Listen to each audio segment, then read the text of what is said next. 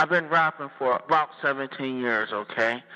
I don't write my stuff anymore. I just kick it from my head. You know what I'm saying? I can do that.